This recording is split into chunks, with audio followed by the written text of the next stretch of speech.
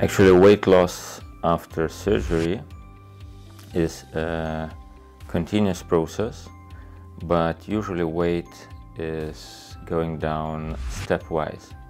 So if few weeks after surgery the weight loss stopped, you should not be afraid because uh, it usually after few days start decreasing. Uh, so what is very important is to look if your weight loss has stopped for a longer period than for instance a few days.